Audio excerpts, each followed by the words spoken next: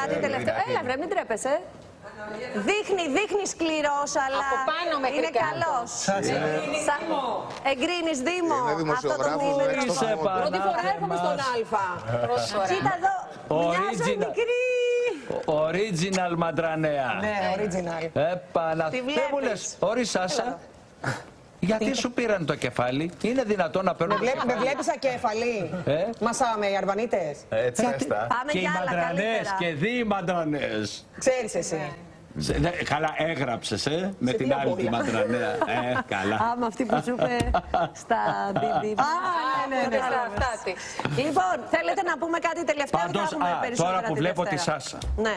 θέλω να πω το εξής. Πρόσεχε τι θα πεις. Γιατί μπορεί να σας έδωσα την εντύπωση ή να δίνει ο γιος την εντύπωση ότι δεν νοιάζεται για τη μάνα του.